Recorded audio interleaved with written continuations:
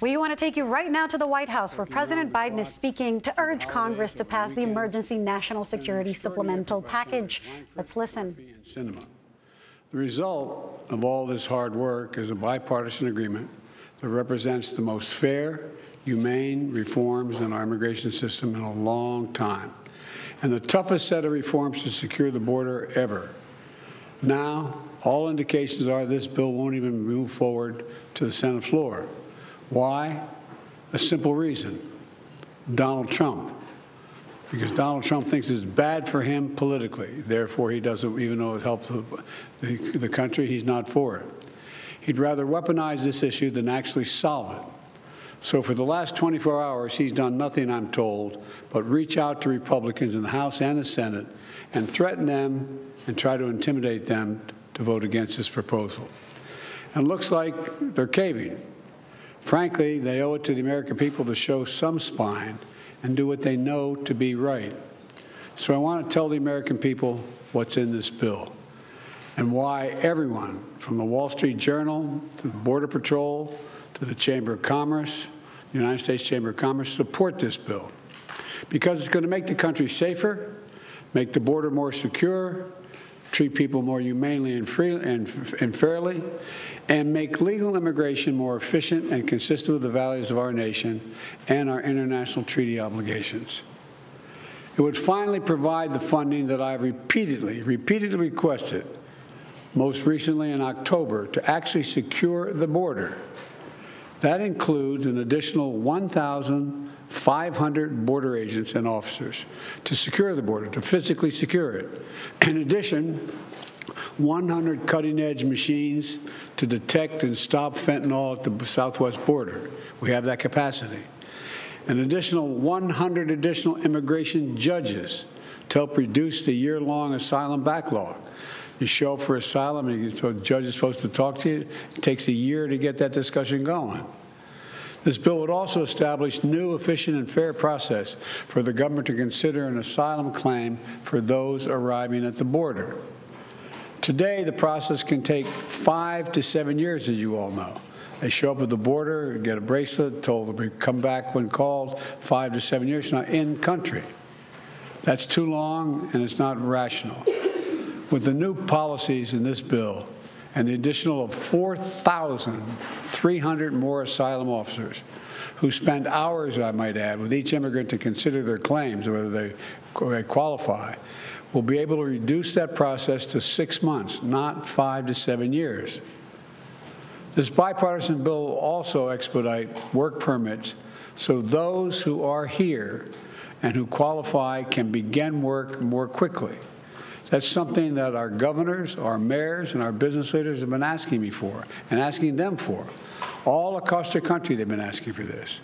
It'll also create more opportunities for families to come together for business to hire additional workers. And for the first time in 30 years, the first time in 30 years, this bipartisan legislation increases the number of immigrant visas for people legally, legally able to come to this country through ports of entry. And ensures for the first time that vulnerable, unaccompanied young children have legal representation at the border. This bill would also give me, as president, the emergency authority to temporarily shut down the border when it becomes overwhelmed.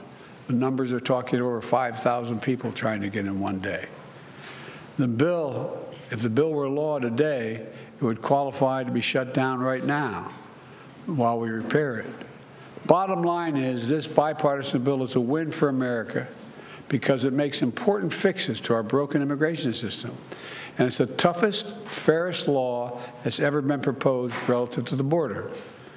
Now, it doesn't address everything I'd like uh, that I wanted. For example, we still need a path for, of documentation for those who are already here. And we're not walking away from true immigration reform, including permanent protections and a pathway to citizenship for young dreamers who came here when they were children and who have been good citizens and contribute so much to our country. But the reforms in this bill are essential for making our border more orderly, more humane, and more secure. That's why the Border Patrol Union, which, by the way, endorsed Donald Trump in the 2020 election, endorses this bill. These are the people whose job it is to secure the border every single solitary day. They don't just show up for photo ops like some members of Congress. They're there to do their job. This is the risk, the thing they, many of them risk their lives doing every single day. And they decided, they decided, the Border Patrol decided, this gives them the tools they need to do the job. More personnel across the board. It's also why the U.S. Chamber of Commerce endorsed this bill, because they know this bill is not just good for the border, it's also good for American business and for the American economy.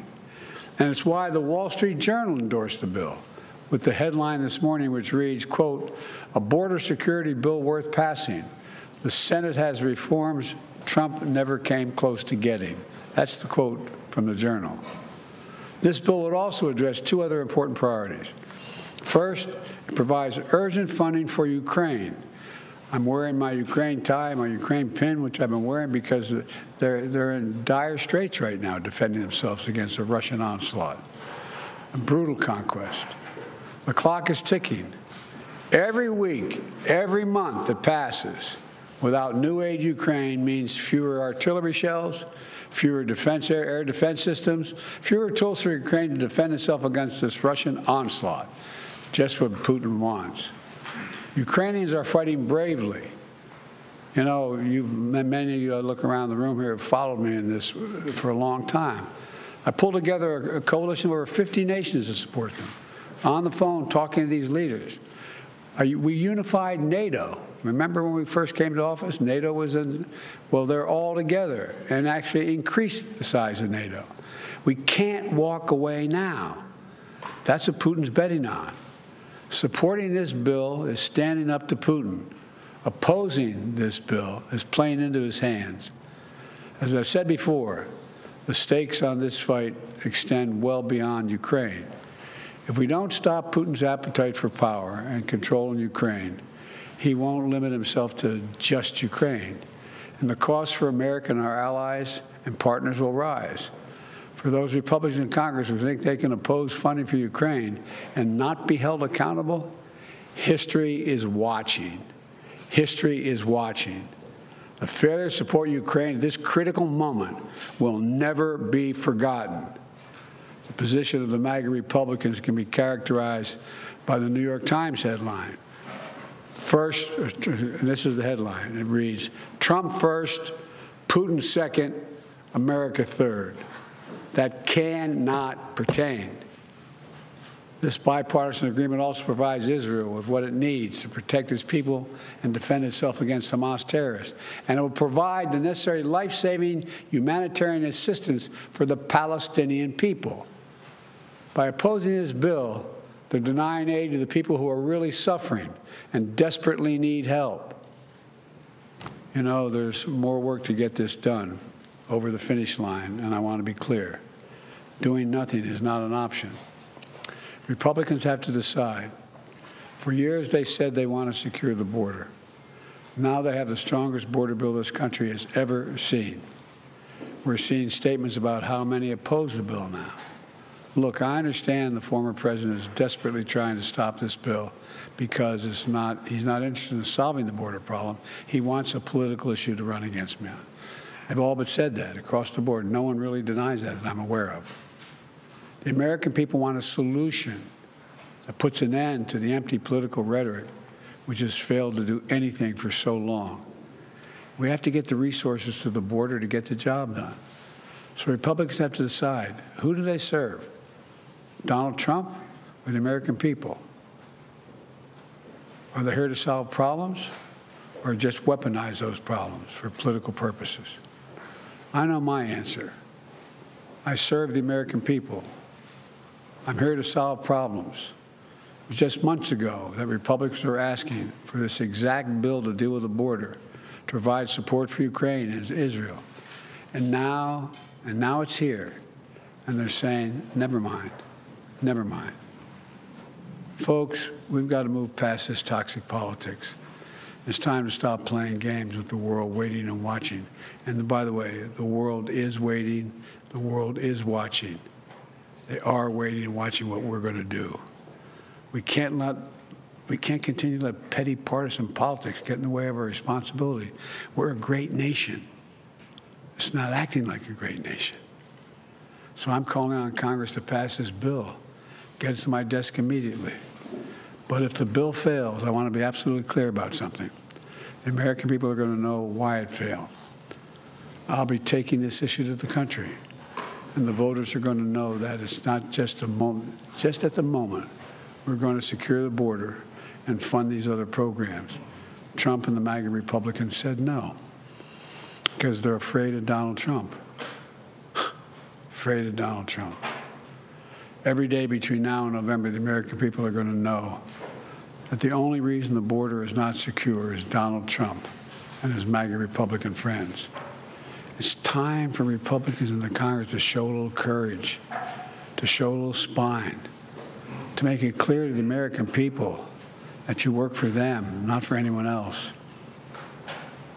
I know who I work for. I work for the American people. I'm almost like this.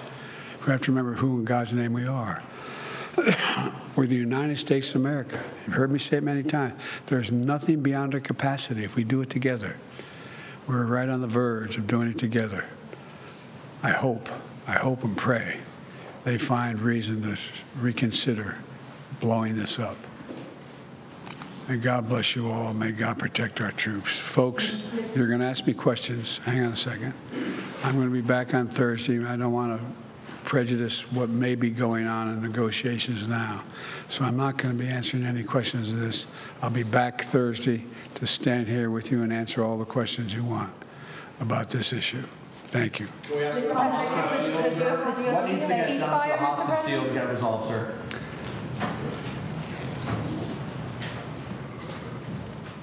This indirectly has a lot to do with the hostage deal and what's going on in the Middle East. The decision on what we do relative to Israel, decision what we do in terms of American funding, of whether we're going to engage with the situation in Ukraine. It all goes to the question of American power. It all goes to was America keep its word? Does America move forward? There is some movement, and I don't want to. I don't want to. Well, maybe choose my words. There's some movement. There's been a response from the. Uh, the, the, there's been a response from the opposition, but um, it, it, yes, I'm sorry, from Hamas, but it seems to be uh, a little over the top. We're not sure where it is. There's a continuing negotiation right now. Mr. President, if this bill fails, would you consider supporting something separate that just addresses Israel or Ukraine? I'm not going to concede that now. I- We need it all. The rest of the world's looking at us, and they really are. Thank you. Mr. President, trust this Congress? does not have immunity, Mr. President. We have been listening to President Biden speak. He was urging Congress to pass the Emergency National Security Supplemental Package. That is that bipartisan bill that was uh, brought up in the Senate um, that includes border security, some of the strictest measures at the border, but also tied to foreign aid to Ukraine, Israel, Taiwan. The president said that NATO is on board, that the Border Patrol is on board. Uh, he said that the Chamber of Commerce is on board, but he blamed, quoting the Wall Street Journal, former President Trump for the package not yet reaching the Senate floor, and that the former president is threatening Republicans to not bring this bill forward. Biden says we can't let, quote, petty partisan politics get in the way of this bill, and that Republicans need to show a little courage, he said. But right now, we are also following some other breaking news. A jury in Michigan has reached a verdict in the invol- involuntary manslaughter trial of a school shooter's mother. That is Jennifer Crumbley in the deaths of four students back in 2021. The verdict will be read out shortly, and we will bring you a CBS News special report when it happens. Just as a reminder, she is facing a maximum sentence of 60 years in prison for every one of those four charges of involuntary manslaughter. But before we get to that, let's bring in CBS News congressional correspondent Nikole Killion, who is on Capitol Hill. Nikole, okay, what are your takeaways from the president's remarks? Uh, how strong uh, do you think that his case was made, and, and is it too little, too late, given uh, all of the expressions coming out of the Senate and the House?